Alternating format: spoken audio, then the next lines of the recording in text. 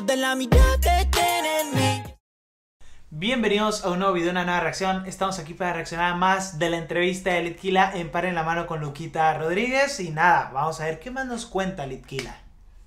el lugar de los grandes. Ustedes, con Duke y eso. O sea, Sí, gente, teniendo la gente gente que de claro, hace muchos años. Se conocen de muy chicos y son los grandes en algún punto. Es que como Eh, que playero el porque- camino largo ustedes, como que empezaron Es en flashero porque empezamos de muy chico, Claro, ¿viste? claro. O sea, obviamente ahora yo tengo 22, soy Claro un que- pibito, Sí, sí, pero, sí. pero Ah, empecé a los también. 16, boludo, y a los Claro. 16 ya tuve una batalla que me hizo conocido así, Mm. después ya me pedían fotos a los 16, a los 17 ya estaba de gira en España, boludo, entonces como que como que fue ahí muy muy muy, o sea, yo me pongo a mirar atrás y ya pasaron 5 años más o menos, Y no claro. sé, tipo un poco más. Yo igual siempre Cinco y- pienso- Y, uno y medio de pandemia, poner. Claro, sí, Yo olvidate. siempre pienso lo mismo cuando los veo, eh, y a veces lo hablamos con Luquita, que no sé si no caen en el lugar que están, porque realmente los pibes estos son muy, pero muy humildes. Vos viste que son muy normales, boludo, no tienen eh, aires raros. Yo creo que todavía no, no, no Aparte, caíste de no. la dimensión que, que Hay algo que a mí me llama la atención es que no dejan de ir a lugares. Por ¿Viste? ejemplo, nosotros Ah. fuimos, vos no viniste porque no te gusta viajar, pero Ah, fuimos no, a San no. Juan a ver a la selección y fueron todos a ver a la Todo, selección. todo. Claro, como sí. si nada. Pero es un quilombo bárbaro. O sea, Claro. en otro, en, en- Y- y en otro contexto jamás me pongo, irían Me así. pongo eh, desde afuera y a ustedes, eh, es, eh, hago extensiva a ustedes la pregunta. ¿Cómo conviven esos dos mundos, streaming más eh, música? Más, porque uno lo ve de afuera y son todo lo mismo, Sí. pero en realidad no son todo lo mismo. Y, y por ahí ellos afuera, internacional, Mira. mirá, mirá cómo se come la Come, come tranqui, amigo. internacionalmente Total, ellos son recontra conocidos eh, y ustedes acá, ¿cómo, cómo es ese- esa convivencia del mundo stream con el trap? y trapero. Y sí, se dio. Bueno, acá justo tenemos de los traperos de los que más streamea. Lit Sí. streamea una Bien. banda, te, te divierte un montón. Está bien, no streamea una banda, cada tanto no, no le pinta y no prende nunca. Claro, claro. Pero sos de los que más has streameado Sí, sí. de la música. No, claro, sí, soy el que más streamió. O sea, a mí me gustó mucho desde, desde la pandemia. Fue, viste, que creo que vos también y vos también. Es que Sí, fue sí. en la pandemia cuando todos Mal. empezamos a decir, Sí, sí. es por acá, viste, porque estaba piola. Y nada, me empecé a divertir con eso y, y pintó. Y además también tiene el plus de que hoy en día, mientras más gente lo hace, más normal lo ves, viste. Entonces, Claro. capaz que antes, al principio, vos, no sé, hacías stream, ponele y capaz que era, no sé, eh, no, o sea, estabas en la movida del rap, rapeando las plazas, capaz que hacías stream y era como que, eh, no, vos sos streamer. Claro. cosas así. Claro. Hoy en día, streameo yo, streamea el Duco, Sí. streamea tranquilamente en un, en un blog, boludo, streamea, ¿entendés? Jugando jueguitos. Tipo, allá artistas internacionales, ha Claro. streameado Drake, no sé, todo, boludo, ¿entendés? Están todos ahí. Bueno, Drake justamente no sé, ahí habla el pedo. Pero tipo, estrellas mundiales se ponen a, a jugar jueguitos. Sí, de, ¿entendés? de diferentes ámbitos. O sea, Claro, Neymar, a Neymar lo jugando al counter. Neymar, por Sí. ejemplo, ¿entendés? El boludo. Sí, Kun. Todo, Es, es como que ya se normalizó tanto, Sí. es como parte de, la, de esta época también. Pero inclusive dentro de la gente del stream hay muchos que conoces hace muchos años. Tipo Cósculo, conoces hace una banda. vos. Claro, a Coscu lo conozco hace un montón, sí. Pero esos dos se conocieron. Córdoba, ¿no? 2 a 2.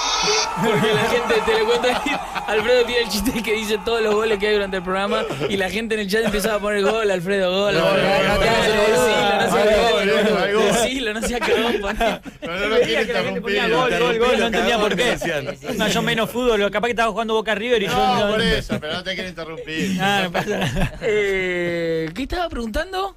No sé. Ah, ¿de dónde, lo este conoces? que gritó el gol. Ah, ¿De dónde bueno, a? Coscu yo lo conocí también por el freestyle porque, no sé, él era amigo creo que lo- de los organizadores del quinto y una vuelta lo llevaron de jurado.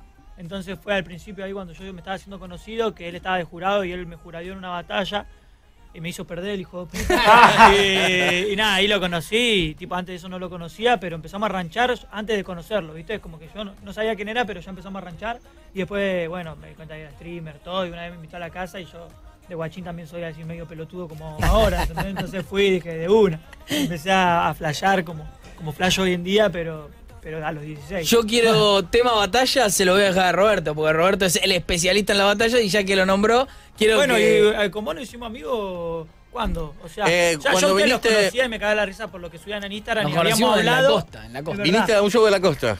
Y ahí ¿no yo te había visto primero una FMS o algo así a vos?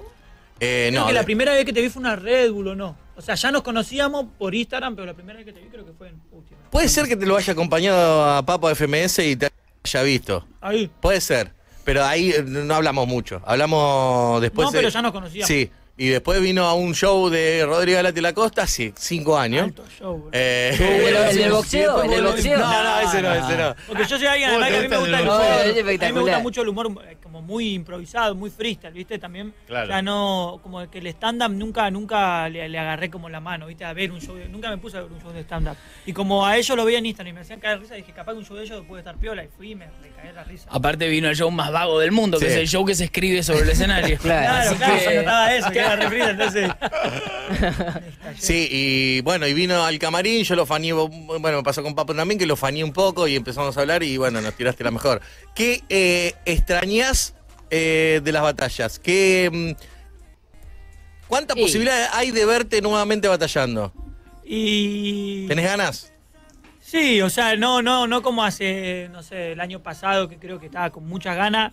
No tengo tantas ganas ahora porque no estoy tan para esa, ¿viste? No, como que no tengo mucho el tiempo, pero siempre están las ganas de rapear, ¿viste? O sea, de competir en algo así, está bueno.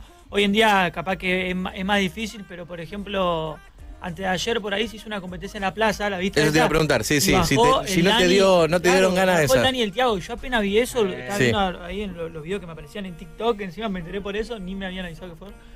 Y lo vi y como que me agarró una re felicidad, como decir, guacho, alta nostalgia, Sí, ¿viste? sí. Porque era en una plaza, no era un evento. Claro. Claro. O sea, el evento con micrófono está bueno siempre, pero siempre está eso de decir, bueno, evento ya es como a alto level. En cambio, en la plaza es como la- el primero de lo primero, es como la esencia de todo lo que nos hizo empezar, ¿entendés? Sí. Entonces, lo vi a los pibes ahí y me la resubió, ¿entendés?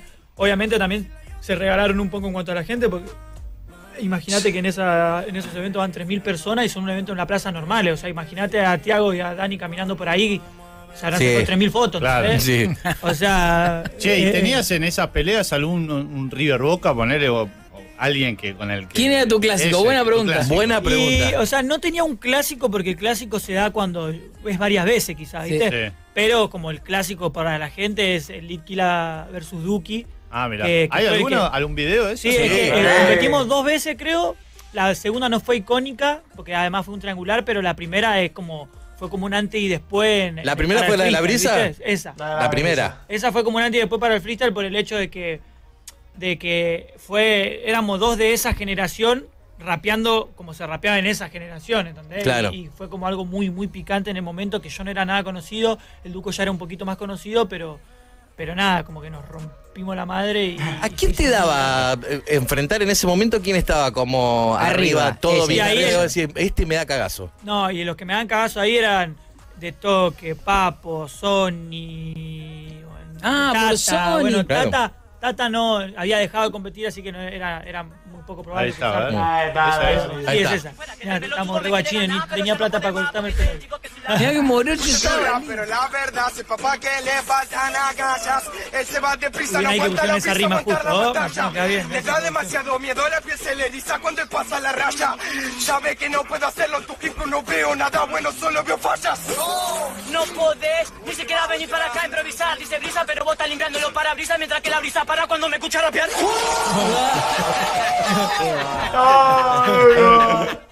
Hermoso, aparte era Qué muy estupidez la chico, cara. No, es increíble, boludo. Es ¿Vos qué edad increíble. tenías ahí? Más Ahí o tenía menos. 16, no, capaz que. di- No me acuerdo qué, qué mes era, pero 16, 17. por ahí, por ahí. Re pibe. ¿Y Duco?